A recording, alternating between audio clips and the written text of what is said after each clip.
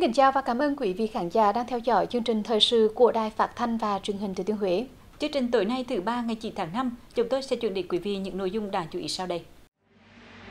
Những ấn tượng từ Festival Nghề truyền thống Huế 2023, kỳ festival thành công nhất từ trước đến nay.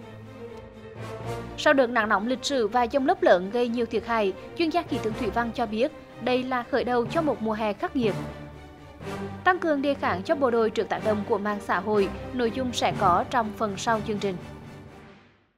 Thưa quý vị, chuẩn bị cho kỳ họp lần thứ 5 Quốc hội khóa 15 và kỳ họp thứ 6 Hội đồng nhân dân tỉnh khóa 8, chiều qua đoàn đại biểu Quốc hội và Hội đồng nhân dân tỉnh gồm các ông Lê Trường Lưu, Ủy viên Trung ương Đảng, Bí thư tỉnh ủy, Chủ tịch Hội đồng nhân dân tỉnh, trưởng đoàn đại biểu Quốc hội tỉnh, ông Nguyễn Hải Nam, Ủy viên Thường trực Ủy ban Kinh tế Quốc hội đã có buổi tiếp xúc cử tri trên địa bàn huyện Phú Vang. Tại buổi tiếp xúc, ông Nguyễn Hải Nam, Ủy viên Thường trực Ủy ban Kinh tế Quốc hội thông báo dự kiến nội dung chương trình kỳ họp thứ 5 Quốc hội khóa 15 và một số hoạt động của đoàn đại biểu Quốc hội tỉnh trong thời gian qua. Trả lời những kiến nghị đề xuất mà cử tri gửi đến Quốc hội, Chính phủ, các bộ ngành trung ương tại các đợt tiếp xúc cử tri trước đây. Bên cạnh đó, thông báo tổng tắt tình hình kinh tế xã hội, an ninh quốc phòng 4 tháng đầu năm 2023. Các cử tri cũng đã bày tỏ tâm tư nguyện vọng và đã có các kiến nghị gửi đến đoàn đại biểu Quốc hội và Hội đồng nhân dân tỉnh liên quan đến một số nội dung như tuyến đường rẽ nhánh của tỉnh lộ 10A, đoạn từ cụm Đông B, xã Phú Lương đến giáp thị trấn Phú Đa bị xuống cấp nghiêm trọng. Đề nghị các cấp quan tâm bố trí kinh phí đầu tư, mở rộng, góp phần đảm bảo an toàn giao thông cho người dân đi lại và phát triển kinh tế xã hội. Hệ thống dây mạng truyền thông của các nhà mạng gây mất mỹ quan và gây nguy hiểm cho người dân tham gia giao thông. Nhà nước có các phương án để bàn giao các trạm biến áp sản xuất nông nghiệp cho ngành điện quản lý. Việc xây dựng bờ kè trên sông Nhĩ, đoạn giáp ranh hai địa phương xã Thủy Thanh, thị xã Hương Thủy và xã Phú Hồ, huyện Phú Vang còn những bất cập có thể gây ảnh hưởng đến dòng chảy. Nhà nước có các chính sách để hỗ trợ cho nông dân, góp phần giảm bớt khó khăn, vân vân. Phát biểu tại buổi tiếp xúc cử tri, trưởng đoàn đại biểu Quốc hội tỉnh Lê Trường Lưu ghi nhận và đánh giá cao các ý kiến của các cử tri đã gửi gắm tại buổi tiếp xúc đồng thời trao đổi một số nội dung liên quan đến các ý kiến kiến nghị của cử tri và đề nghị các cấp chính quyền xem xét giải quyết kịp thời những kiến nghị chính đáng của cử tri trong phạm vi thuộc thẩm quyền. Các ý kiến kiến nghị của cử tri không thuộc thẩm quyền sẽ được đoàn đại biểu Quốc hội, Hội đồng nhân dân tỉnh tổng hợp chuyển đến các cấp, các ngành chức năng xem xét giải quyết tại các kỳ họp sắp tới, đảm bảo quyền lợi ích hợp pháp chính đáng của cử tri. Cũng trong chiều qua, đoàn đại biểu Quốc hội tỉnh gồm các ông Lê Hoài Trung, Ủy viên Ban chấp hành Trung ương Đảng, trưởng Ban đối ngoại Trung ương, Thiếu tướng Phạm Trường Sơn, Phó Tổng tham mưu trưởng Quân đội Nhân dân Việt Nam, Nguyễn Thanh Hải, Viện trưởng Viện Kiểm sát Nhân dân cấp cao tại Hà Nội đã tiến hành tiếp xúc cử tri tại thị xã Hương Thủy. Tại hội nghị, đại diện đoàn đại biểu Quốc hội tỉnh đã báo cáo đến cử tri thị xã Hương Thủy về thời gian, nội dung, dự kiến chương trình kỳ họp thứ năm Quốc hội khóa 15 và thông tin về tình hình phát triển kinh tế xã hội, quốc phòng an ninh, trật tự an toàn xã hội của tỉnh và hoạt động của đoàn đại biểu Quốc hội tỉnh 4 tháng đầu năm 2023. Phát biểu hội nghị, cử tri các xã phương thuộc thị xã Hương Thủy bày tỏ vui mừng phấn khởi trước sự phát triển lớn mạnh của đất nước cũng như quê hương Thừa Thiên Huế. Đồng thời kiến nghị đến đoàn đại biểu Quốc hội tỉnh một số nội dung liên quan đến chế độ chính sách đối với người có công và cách mạng, vấn đề kinh phí trùng tu tôn tạo di tích lịch sử, tuổi nghỉ hưu đối với giáo viên, một số vấn đề liên quan đến dân sự, đại diện lãnh đạo ủy ban nhân dân xã và thị xã Hương Thủy đã trực tiếp trả lời một số kiến nghị của cử tri thuộc thẩm quyền địa phương giải quyết. Phát biểu tại buổi tiếp xúc, ông Lê Hoài Trung, Ủy viên Trung ương Đảng, trưởng ban đối ngoại Trung ương, thay mặt đoàn đại biểu Quốc hội tỉnh, cảm ơn cử tri thị xã Hương Thủy đã đóng góp nhiều ý kiến quan trọng tại hội nghị, đồng thời tiếp thu giải trình các ý kiến mà cử tri quan tâm. Đối với những kiến nghị, ý kiến vượt qua thẩm quyền, đoàn đại biểu Quốc hội tỉnh sẽ tổng hợp gửi các cơ quan chức năng của Trung ương, Quốc hội, Chính phủ xem xét, giải quyết và sẽ tổng hợp báo cáo trả lời cử tri trên địa bàn thị xã Hương Thủy trong thời gian sớm nhất. Sáng nay, Bộ Chỉ huy quân sự tỉnh và Bộ Tư lệnh Vùng Cảnh sát biển 2 tổ chức hội nghị hiệp đồng ra soát số lượng, chất lượng nhân lực tàu thuyền và phương tiện dân sự tham gia bảo vệ chủ quyền, quyền chủ quyền và các vùng biển của Việt Nam. Tại hội nghị, hai bên đã tiến hành thảo luận lấy ý kiến đóng góp bổ sung, làm rõ một số nội dung đi đến thống nhất trong công tác hiệp đồng bàn giao tiếp nhận nhân lực tàu thuyền và phương tiện dân sự tham gia bảo vệ chủ quyền, quyền chủ quyền các vùng biển của nước Cộng hòa xã hội chủ nghĩa Việt Nam giữa Bộ Tư lệnh Vùng Cảnh sát biển 2 và Ủy ban nhân dân tỉnh Thừa Thiên Huế. Hai bên cũng đã trao đổi thông tin, đồng thời đánh giá về tình hình thực tế, yêu cầu nhiệm vụ và những khó khăn thách thức trong công tác quản lý, nắm các nguồn thông tin từ ngư dân và xử lý các tình huống xảy ra trên biển. Hai bên thống nhất tập trung làm tổ công tác tuyên truyền, nâng cao nhận thức cho cán bộ đảng viên và các tầng lớp nhân dân, nhất là các ngư dân thường xuyên ra khơi bám biển, thường xuyên trao đổi cung cấp kịp thời những tình hình trên biển, từ đó kịp thời phối hợp xử lý các tình huống, nhất là trong công tác cứu hộ cứu nạn khi có tình huống xảy ra. Thường xuyên theo dõi kiện toàn nguồn nhân lực tàu thuyền đáp ứng nhiệm vụ khi vươn khơi bám biển, Bên cạnh đó, đề nghị Bộ Chỉ huy Bộ đội Biên phòng tỉnh cần quan tâm tạo điều kiện về khu vực, vị trí neo đậu và thủ tục hồ sơ khi ra vào cả cảng nhằm tạo động lực, tinh thần tốt nhất để các ngư dân bám biển và sẵn sàng tự giác thực hiện các nhiệm vụ khi có yêu cầu. Ngoài ra, các đơn vị cũng cần quan tâm đến chế độ chính sách của các thuyền viên, nhất là các gia đình chính sách, để các thuyền viên an tâm vươn khơi bám biển. 300.000 lượt du khách và người địa phương, bốn kỷ lục được xác lập 20 tỷ đồng doanh thu từ các hoạt động. Đó là những con số ấn tượng khẳng định Festival Nghề truyền thống Huế 2023 là một kỳ festival thành công nhất từ trước đến nay. Đặc biệt qua kỳ festival lần này, thành phố Huế đã có thêm nhiều gợi mở trên con đường khẳng định tầm vóc, thương hiệu của mình, góp phần cùng toàn tỉnh hiện thực hóa mục tiêu trở thành thành phố festival đặc trưng của Việt Nam.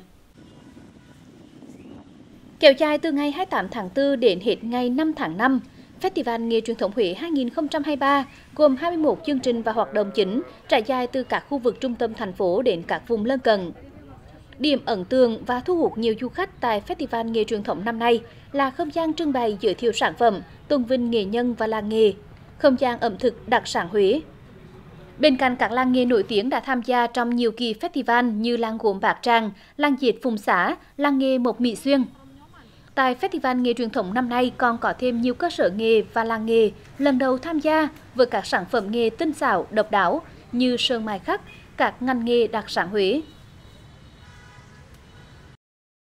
Đặc biệt, nhiều chương trình hoạt động lần đầu tiên được tổ chức như lễ hội ẩm thực chủ đề tinh hoa nghề bún với sự tham gia của 54 gian hàng đến từ 9 địa phương và 16 phường xã của thành phố Huế đã giới thiệu hàng trăm món ăn và thức uống mang phong cách ẩm thực đặc sản của từng vùng, địa phương,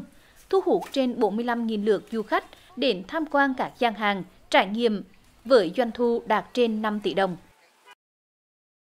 Lễ hội tri ân dòng hương gồm nhiều hoạt động được tổ chức tại khu vực sông Hương, trong đó nổi bật là chương trình nghệ thuật tri ân dòng hương, nhằm tri ân bày tỏ sự cảm kích với dòng sông Hương, có bề dày lịch sử, đã bàn mùa màng hoa trái và trầm tích văn hóa xứ sở. Hay lễ hội quảng diễn đường phố với sự tham gia của đoàn cà kheo Vương quốc Bỉ, chương trình giao lưu văn hóa nghệ thuật giữa các thành phố trong và ngoài nước kết nghĩa, hợp tác với Huế, hay đêm nhạc giai điệu trẻ, liên hoan flag mob đã thực sự khuấy động thành phố Huế rực rỡ sắc màu. Có lẽ điều ấn tượng nhất là năm nay ban tổ chức đã tổ chức một cái kỳ festival có có thể nói là thành công và kết nối được các cái, cái, cái ngành nghề với nhau để có cùng những cái ý tưởng mới cũng như là sức sáng tạo mới cho các nghệ nhân cũng như các nhà thiết kế. Mình rất là uh, cảm thấy là khâm phục và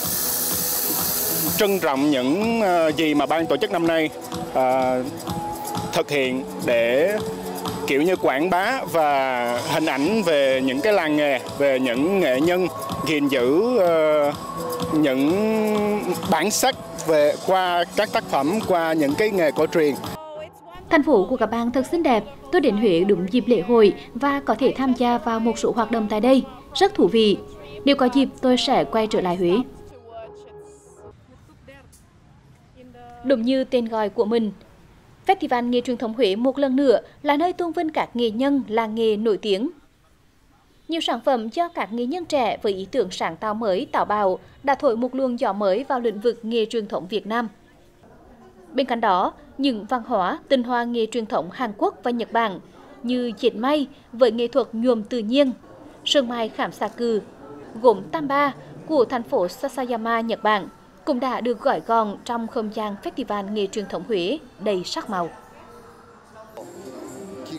Thật sự rất vui khi năm nay chúng tôi được đến Huế tham gia vào lễ hội Festival nghề truyền thống và được mang những tinh hoa của nghệ thuật hanbok đến với Huế. Thành phố Sayo chúng tôi rất nổi tiếng với chữ kiều Renzini độc đáo và năm nay chúng tôi mong muốn được quảng bá thêm những nét văn hóa đặc trưng của Nhật Bản đến với các bạn. Với những cái sự kiện, những cái chương trình và cách tổ chức à, mới à, trong năm nay thì à, hy vọng là ban tổ chức sẽ có những cái kinh nghiệm hơn và đặt yêu cầu cao hơn để tạo ra những cái chương trình, tạo ra những cái sản phẩm phục vụ cho khách du lịch, đặc biệt là trong các cái kỳ du lịch cao điểm để tạo ấn tượng với khách du khách cũng như là À, bạn bè quốc tế đến với Huế trong à, những năm sắp đến. Sau gần 20 năm tổ chức, Festival nghề truyền thống Huế năm nay tiếp tục để lại nhiều dấu ấn đặc sắc và có tác động tích cực đến phát triển kinh tế xã hội, các doanh nghiệp, cơ sở làng nghề. Thông qua không gian tôn vinh nghệ nhân và làng nghề, Festival nghề truyền thống Huế 2023 còn thể hiện trách nhiệm của chính quyền thành phố Huế trong việc phát triển thị trường đầu ra cho sản phẩm doanh nghiệp, cơ sở nghề, tạo điều kiện để các làng nghề tiếp tục hồi sinh và phát triển. Chúng tôi đánh giá cao sự chuẩn bị của à, thành phố Huế, đơn vị đăng cai tổ chức à, Festival nghề à, truyền thống 2023 lần này. Quan trọng ở chỗ là nó là cái trọng điểm hạt nhân của các hệ thống các cái hoạt động lễ hội trong Festival Huế 2023. À, à, thông qua Festival nghề truyền thống thì chúng tôi kỳ vọng các nghề truyền thống, các làng thủ công mỹ nghệ à, người dân cộng đồng cùng à, tham gia tích cực hơn vào cái công tác phát triển các nghề truyền thống trên địa bàn tỉnh Thừa Thiên Huế. Có thể nói trong bối cảnh toàn tỉnh đang phấn đấu trở thành thành phố trực thuộc trung ương, thành phố Huế thông qua các kỳ festival nghề truyền thống đã và đang tạo ra những giá trị mới, động lực mới để cùng với toàn tỉnh sớm hiện thực hóa mục tiêu trở thành thành phố festival đặc trưng của Việt Nam. Tiếp tục với những thông tin khác, Sáng nay, Bí thư huyện ủy Phú Vang Trần Gia Công đã đến thăm hỏi động viên gia đình ngư dân có tàu cá bị đánh chìm vào tối ngày 8 tháng 5 do dông lốc gây ra. Theo lãnh đạo địa phương, lúc 3 giờ 40 phút ngày 8 tháng 5, tổ công tác xã Phú Thuận và tổ công tác xã Phú Hải của đồn biên phòng cửa khẩu cảng Thuận An nhận được tin báo có hai tàu gặp nạn do bị dông lốc. Cụ thể, tàu TTH 91075 TS04 do ông Trương Việt Hiệp ở thôn An Dương 1 làm thuyền trưởng bị dông lốc đánh chìm.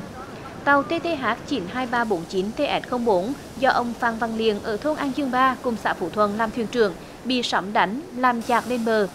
Cả hai tàu đang nằm ở vùng biển thuộc thôn Cừ Lai Nam xã Phú Hải.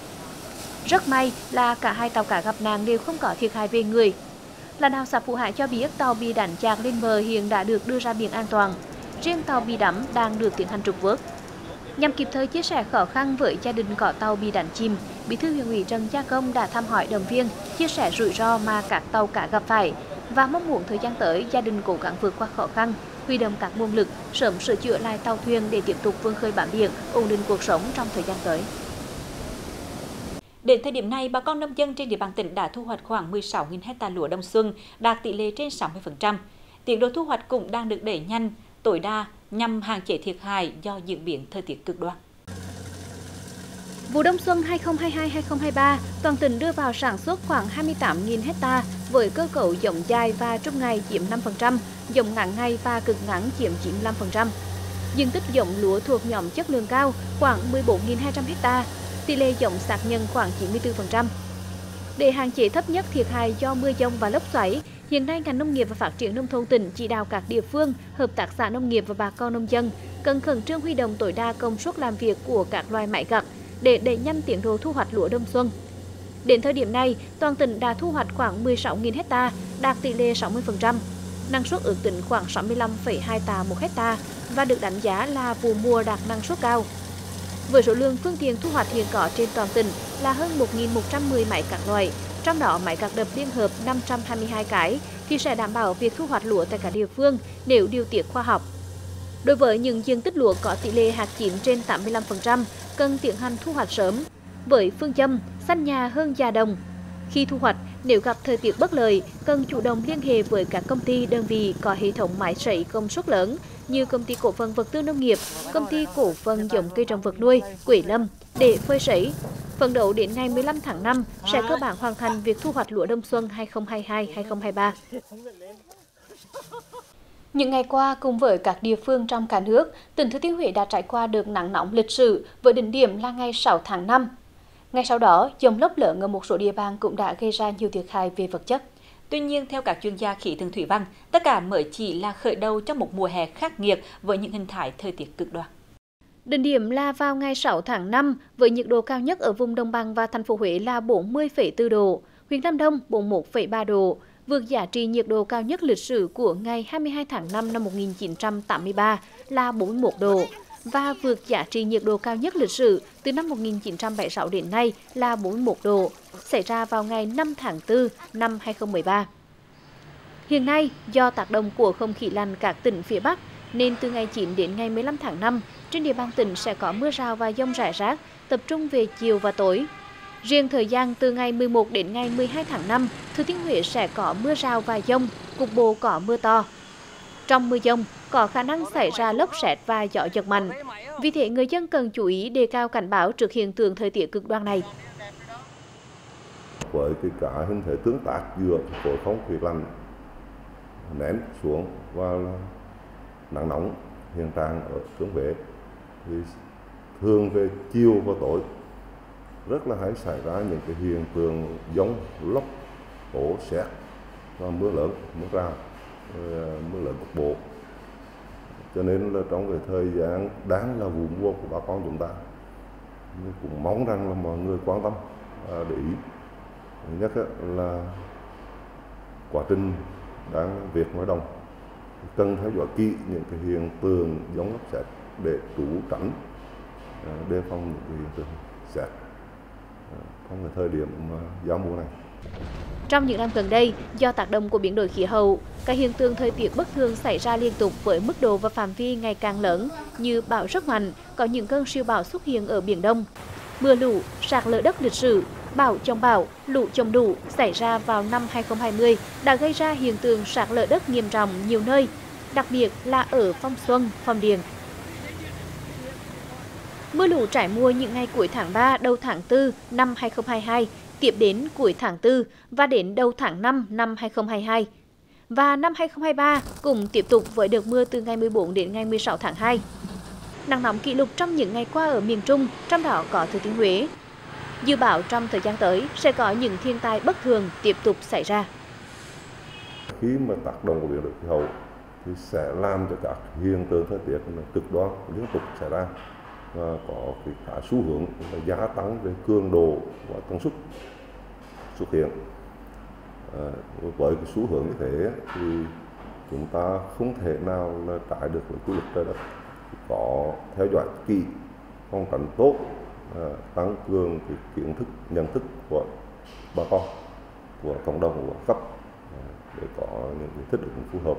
hạn chế được cái rủi ro do tác động của thiên tai gây ra hay không. Năm 2023, với tình trạng nắng nóng lớn hơn trung bình nhiều năm, cho nên dự báo sẽ xảy ra hiện tượng thời tiết cực đoan bất thường, dễ dẫn đến nhiều hệ lụy như thiếu hụt nguồn nước phục vụ sản xuất nông nghiệp, nguy cơ cháy rừng, các trung tâm thương mại, chợ cũng như ảnh hưởng đến sức khỏe cộng đồng, nhất là người già và trẻ em. Bên cạnh triển khai đồng bộ các phương án trong sản xuất nông nghiệp, các ngành chức năng chủ động phương án phòng cháy chữa cháy, nhất là phòng cháy chữa cháy rừng, hạn chế thấp nhất thiệt hại về người và tài sản khi có sự cố cháy lớn xảy ra. Sáng nay, Ủy ban nhân dân phường Phú Nhuận thành phố Huế tổ chức lễ phát động triển khai thực hiện chiến dịch 50 ngày đêm, mỗi người dân một tài khoản dịch vụ công. Phú Nhuận xác định việc triển khai chiến dịch là nhiệm vụ quan trọng nhằm nâng cao nhận thức, thay đổi tư duy của cán bộ công chức và nhân dân trong việc tiếp cận thông tin, sử dụng dịch vụ công trực tuyến, góp phần nâng cao công tác cải cách hành chính tại địa phương. Chiến dịch đặc biệt tập trung cao điểm trong 50 ngày đêm và thực hiện đồng bộ trên toàn địa bàn phường. Có lộ trình cụ thể, trước tiên sẽ triển khai đến từng cá nhân và gia đình của toàn thể cán bộ công chức, cán bộ cục cán tại cơ sở, các đoàn thể chính trị. Tiếp theo, triển khai tại các khu dân cư, các cơ sở kinh doanh, doanh nghiệp, các trường học trên địa bàn. Thanh niên là lực lượng nòng cốt tham gia tình nguyện hỗ trợ, hướng dẫn người dân cài đặt tài khoản dịch vụ công, góp phần xây dựng, hoàn thiện và phát triển chính quyền số, nền kinh tế số và xã hội số tại địa phương trong giai đoạn 2021-2025 với mục tiêu 40 làm việc không giấy tờ, hội họp không tập trung, dịch vụ công không gặp mặt, thanh toán không tiền mặt và một có dữ liệu có chuyển đổi số. Qua đó đảm bảo đồng bộ ứng dụng công nghệ thông tin, xem đây là công cụ hữu hiệu hỗ trợ thúc đẩy cải cách hành chính. Cùng với sự phát triển mạnh mẽ của các trang mạng xã hội, những tin giả, thông tin xấu, độc đang từng giờ từng phút tác động tiêu cực xã hội. Đặc biệt, các thế lực thù địch đang sử dụng mạng xã hội như một công cụ đắc lực để gây xáo trộn đời sống xã hội, xuyên tạc, bóp méo sự thật nhằm chống phá đảng, nhà nước. Trước thực trạng trên, Bộ Chỉ huy quân sự tỉnh đã triển khai nhiều biện pháp, cách làm sáng tạo để nâng cao sức đề kháng cho bộ đội, đặc biệt là các chiến sĩ trẻ trước mọi âm mưu, thủ đoạn chống phá, góp phần đấu tranh bảo vệ nền tảng tư tưởng của Đảng. 260 chiến sĩ mới đang huấn luyện ở trung đoàn 6 này đều đang ở độ tuổi thanh niên. Hầu hết đều đang sử dụng mạng xã hội. Trong dòng chảy thông tin, họ cũng đã chịu không ít va đập. Nhiều trong số đó thừa nhận đã từng được tiếp cận với những thông tin trái chiều, phản bác, xuyên tạc các chính sách của Đảng và nhà nước trong công tác phòng chống dịch, sửa đổi đất đai. Từng hoang mang, hoài nghi, dao động, nhưng khi bước vào môi trường của quân ngũ, thông qua rất nhiều hoạt động giáo dục chủ động và thụ động mà đơn vị đang triển khai, tâm lý, tư tưởng của các chiến sĩ trẻ đã vững vàng hơn. Trước khi nhập ngũ, à, tôi đã có à, xem qua những thông tin à, trên à, trang mạng xã hội như là Facebook, Zalo và tôi cảm thấy có những nội dung cùng nhau và có những thông tin không đúng sự thật và không biết đó là những thông tin đúng hay là sai. À, sau khi vào đơn vị sinh hoạt học tập và chính trị xem thời sự à, được à, tiếp thêm à, những à, kiến thức à, để à, hiểu biết à, về những thông tin trên mạng xã hội. Mưa dầm thấm lâu là phương châm hiệu quả trong công tác giáo dục, tuyên truyền, nhất là giáo dục chính trị. Tại đại đội phòng không 594, Bộ Chỉ huy quân sự tỉnh Thừa Thiên Huế, các hoạt động huấn luyện được tổ chức nề nếp và cơ bản chiếm hết thời gian của bộ đội. Cho nên, để bộ đội có thể thuận tiện trong tiếp cận thông tin, những mô hình như hộp báo thao trường được tận dụng tối đa. Ngoài việc lựa chọn kỹ các loại báo, các chủ đề, vấn đề cũng được sắp xếp theo ngày để bộ đội nghe, đọc, tập trung, nâng cao hiệu quả tiếp nhận. Như hôm nay, chủ đề được chọn là sự kiện đang rất thời sự, xung đột quân sự giữa Nga, Ukraine, vụ bốn tiếp viên hàng không sách ma túy từ Pháp về Việt Nam. Đơn vị đã trang bị cho các kiến thức, kỹ năng nhận diện, đấu tranh, phản bác và các quan điểm sai trái, thù địch trên không gian mạng, cách chọn lọc, lựa chọn các thông tin trên các trang thông tin ờ, chính thống để đọc như là báo quân đội, báo nhân dân, truyền hình Việt Nam. Trong thời gian vừa qua, chúng tôi đã tập trung lãnh đạo, chỉ đạo, làm tốt công tác tuyên truyền, giáo dục cho cán bộ, chiến sĩ, nhất là chiến sĩ trẻ. Trong công tác tuyên truyền, chúng tôi ờ, xác định phương châm tạo cho chiến sĩ có kiến thức nền vững chắc và đủ sức miễn dịch à, trước các thông tin xấu độc. Tùy vào trình độ, khả năng, một cán bộ chiến sĩ này sẽ có những cách ứng xử khác nhau với cùng một nguồn thông tin. Để họ hình thành được bản lĩnh, cách thức ứng xử trước không gian mạng, trước những thông tin xấu độc là không hề đơn giản. Cho nên, rất cần có những biện pháp, cách làm linh hoạt, sáng tạo. Và điều quan trọng hơn cả chính là sự đồng hành của cán bộ đối với chiến sĩ, giúp nâng cao năng lực nội sinh, từ đó hình thành sức đề kháng tinh thần cho bộ đội. Chương trình thời sự tối nay của Đài Phát thanh và Truyền hình Thừa Thiên Huế đến đây xin được kết thúc. Cảm ơn sự quan tâm theo dõi của quý vị và các bạn. Xin kính chào tạm biệt và hẹn gặp lại trong những chương trình tiếp theo.